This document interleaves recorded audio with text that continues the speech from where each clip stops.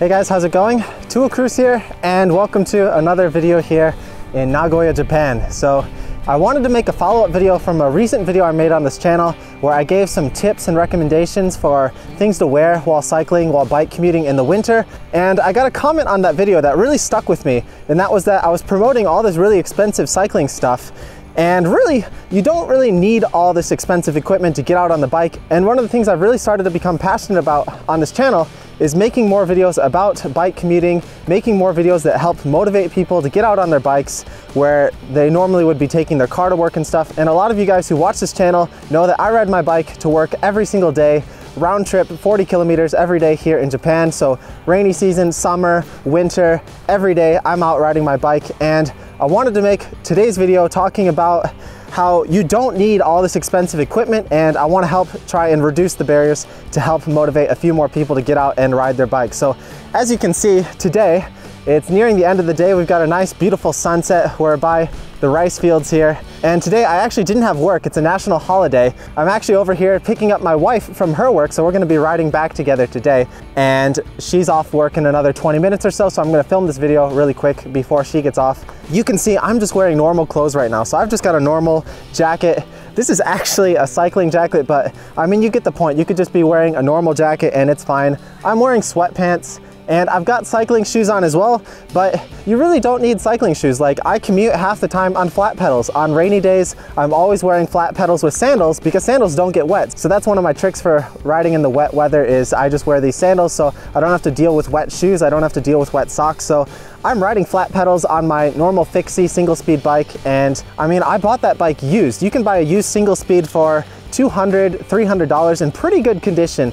And honestly, I've ridden that bike for about four years now and I've never really had to do any maintenance on it. I've changed the brake pads on it once and I really should have bought a new chain, but I actually haven't bought a new chain and I actually dropped my chain the other day, unfortunately. So I will be having to buy a new chain for that soon. But honestly, I've had less than like $20 in maintenance on that bike in four years of using it. And I just ride it with flat pedals. So you can really get out there and use any bike that works, any clothes that works. Like if you just have a pair of sweatpants, jeans, whatever lying around, like it's obviously colder temperatures now, so I'm wearing jeans, but in the summer you could just be wearing like normal soccer shorts, athletic shorts, or even just regular shorts, whatever you have.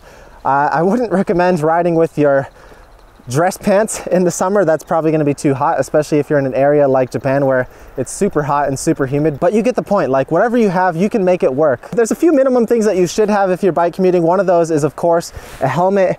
This helmet is actually really really old and I should get a new helmet as well that's another thing on my list. I'm really horrible procrastinator. I'm one of the worst people to give this kind of advice, but I mean, an old helmet is better than no helmet. So whatever you have lying around, if you have an old helmet lying around that you never use and you don't have the money to buy a new helmet, I mean, half the reason a lot of people ride their bikes to work, I'm sure, is to help save money. So it kind of defeats the point if you go and blow all this money on all this stuff that you don't necessarily need. So another example in the winter of things that I like to use, I mentioned in my last video. If you didn't check it out, I'd recommend watching it after you watch this video.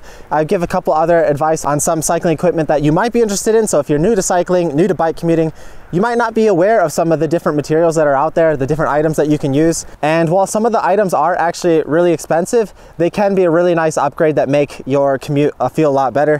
One of the things that I like to use though, that's just a normal item, and that is this scarf. So one of the more expensive solutions, it's not even really an expensive solution, but it's spending another $10, $20 that you wouldn't normally spend. And yeah, I'm sure a lot of you guys out there watching these videos have a scarf lying around somewhere. And if not, I mean, just go down to the next thing that you have. You might have like a hoodie, a sports hoodie or something. Anything works. And the cycling hats, the ear warmers, those are things that you don't necessarily need. Like if you just have some sort of beanie, some sort of regular winter hat lying around, you can wear that and just loosen your helmet, fit it on underneath, and you're good to go. And the hoodies are really great because the hoodies cover your back so you don't have that extra wind chill factor and you can help insulate the heat inside. So just a normal hoodie, a normal winter jacket with a hood, all that stuff is great. So I realize this video isn't quite as long as my other commute videos on this channel and normally I'm riding my bike when I make these videos, but today I decided to stop and talk in front of the camera. One of the main reasons is because it's really windy today, but I had this on my mind and I had a few minutes to film this video before Tone gets off of work. But let me know if you guys like this video. If you you want to see more videos like this, and if you have any other questions or topics you'd like me to go over, let me know. Another video I'm planning to make soon on this channel is about my recommended bikes for commuting, what bike I recommend the most, so like road bike, mountain bike, cyclocross bike, and right now I'm actually test riding for the first time a belt drive commuter hybrid kind of bike. And so I've been testing all these bikes on my commutes throughout the years, and I've got a lot to say about that. I wanted to make a separate video for that. I apologize for my voice today if it sounds a little bit raspy. I actually have a little bit of a cold going on as we get into the colder temperatures here in Japan. And I think I'm gonna stop talking right now to conserve my voice. I've gotta go back to work tomorrow. And yeah, as always, thanks for watching. And I hope these videos help motivate you to get out on the bike, ride your bike to work, and most of all, just enjoy the ride. Biking to work every day has been one of the most significant changes in my life lately, especially now that I've gone long distance this last year compared to my short distance uh, bike commuting that I've done for the last few years. It's been a challenge. Some days are harder than others, but at the end of the day, I'm always happy to have made the choice to ride my bike into work. Anyway, guys, that's it for today. The sun is starting to set, unfortunately and it just gets darker and darker earlier and earlier. This is the bike I'm riding today. This is the BMC Alpenchallenge 01 one belt drive, super nice premium setup. So it's not my bike, it's just a rental, but I am thinking to invest in a belt drive commuter system bike for myself in the future one day, but I've got too many bikes as it is right now and I don't think I can get the wife's approval, but we'll see if that'll happen sometime in the near future. If you're interested in this bike, check out my other first impressions video that I just made the other day. I'll link that up above um, as well. And as always, thanks for watching guys. We'll see you next time here on Two Wheel Cruise.